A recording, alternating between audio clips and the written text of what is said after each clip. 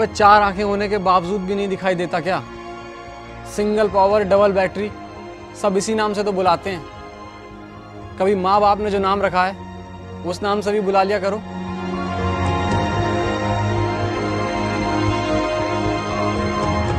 Momos Chinese Chinki क्या है ये सब? मैं तुम्हें कढ़ाई पनीर और छोले भटूरे कहूँ तो? मैं भी इंसान हूँ, तुम्हारी तरह।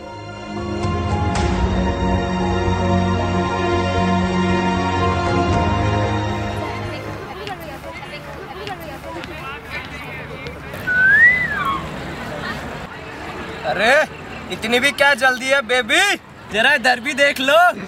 अरे हिंदी आती है या चाइनीज़ सीखे आपके लिए। अरे यार इनके लिए तो चाइनीज़ भी सीख लेंगे।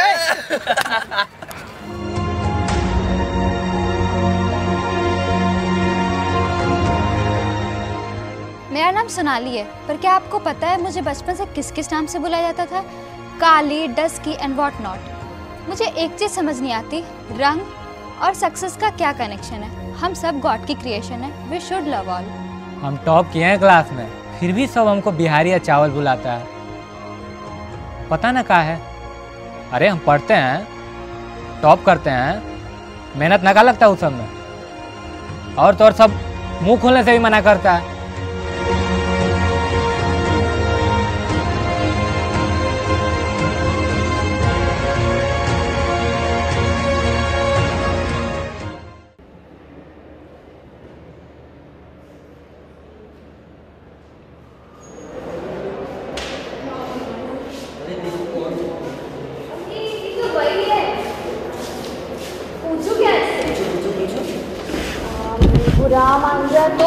पूरा मान भी जाता अपने को क्या फ़र्क पड़ता है? अच्छा सुन। तू कौन सा चावल है? चावल। चावल। चावल।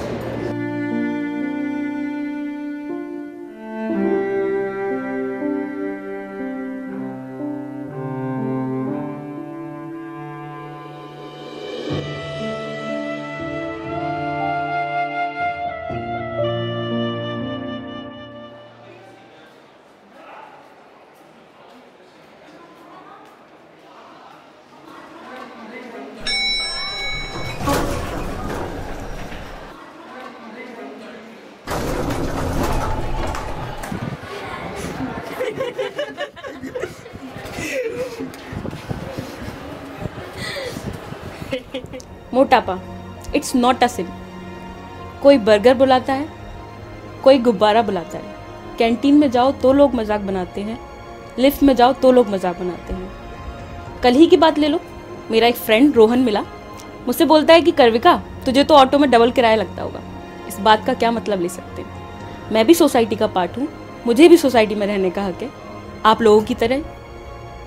अब कर भी कह सकते हैं? इसे एज अ कॉम्प्लीमेंट लेने लगी हूँ मैं।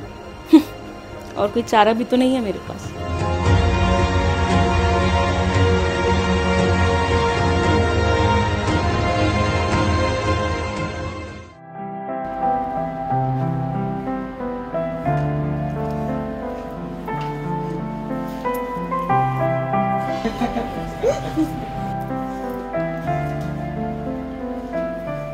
होगा।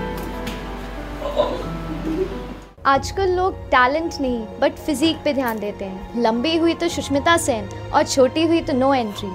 हाय, मैं काजल। मेरी हाइट कम है। मैं छोटी हूँ और लोग मुझे बहुत से नाम से बुलाते हैं। कभी पिद्दी बोलते हैं, कभी छोटू बोलते हैं। तो बहुत सारी चीज़ें सुनने को मिलती हैं। बहुत सारे कमेंट बहुत सारा मज़ाक। कभी कभी तो बहुत डर लगता है। कभी कभी ऐसा लगता है कि अब क्या फ़ायदा? आदत पड़ा लो। इससे अच्छा लोग तो चुप होंगे नहीं। मगर मैं आपसे कुछ कहना चाहती हूँ। अरे भाई, क्या हुआ? जया बच्चन भी तो माइलस्टोन है ना बॉलीवुड की।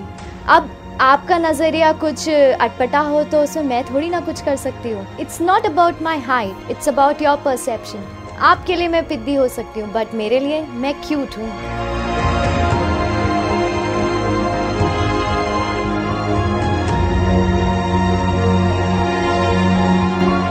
Skin is not a paper. Don't cut it. Your face is not a mask, don't hide it. Your life isn't a book, don't judge it. Your life isn't a film. Don't end it. Those who stood and fought against the bully deserves a salute too.